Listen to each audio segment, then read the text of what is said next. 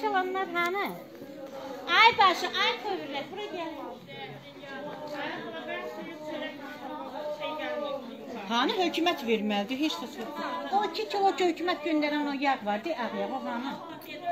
12 kilodur tabii. 2, 2, 2 kilo. Ki. Hara git? Onu da 5 tökün. kilo yollamışsın özel, 5 de özünüz aldınız. 5 kilo yoxsa 2 kilo 5 de, dediniz 5 de, mənə? yok 5 kilo. Beş özel. kilo. 5 kilo da siz özünüz aldınız. Hə 5 kilo da üstlər almışlar. 5 kilo yağ göndər, bu da margarin, onu da tökün. Margarin de alırdı. he. Margarin işi. Ne kız. Margarin. Kaşık aldım. Yox, niyə anladınız? Jurnalistlər gəlibdi də, qoy bir cəmaatı deyir, niyə xəfəfatsız eləyirlər? Yox, bir eləmə, bir eləmə, niyə elə eləyirsən ki? 16 noyabr tarixində təmas xəttində erməni silahlı qüvvələrinin atəşkəs pozması səbəbilə şəhid olan Natiq Əliyevin nəşi bu gün yaşadığı Gəncə şəhərində dəfn ediləcək.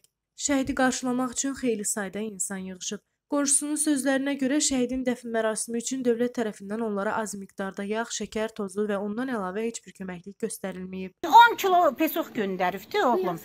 5 kilo margarin. Un nə qədər idi? 10 kilo işletmiş da. 22 mi? Nə qədər göndər? 20 kilo. 20 kilo da un göndərib. Budur bax, göndərdikləri budur. Nə ət var bu boyda millətə? Bu nədir belə? Halva. Halva. Bir halva ilə millət yola salınacaq. Dünəndən. Bana gelmeyip ne görüyorsun? Çörek yok. heç zat yoxdur. Kim alacaq? Ay yok. Yaşadığı evler, evler. Gəp tana, baba, baba, bu cihazı, bax, iki dənə otaqdır çiçək. Qonşudan borc alıb, gedib yer alıb gəl. Biri vicdansızdır. Bax, bax, bax, bax, yaşadığı evdə. İkinci mərtəbədə. İkinci mərtəbə. İndi get içərinə çək. Əzizləyicilər, şəhidimiz hazırda bax gördüyünüz iki otaqlı, qonşuların bildirdiyinə görə iki otaqlı. Bax bu evdə yaşayırlar.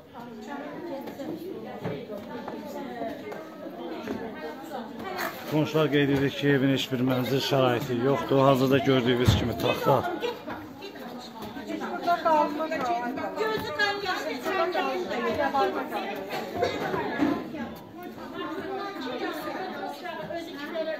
Keçin. Bax, bax, bax, bunun urvatı budurmu? Bir belə yağ, bir belə un, bir belə də pesox. Bir düzəməlli şey də verməyib bunun hökumət.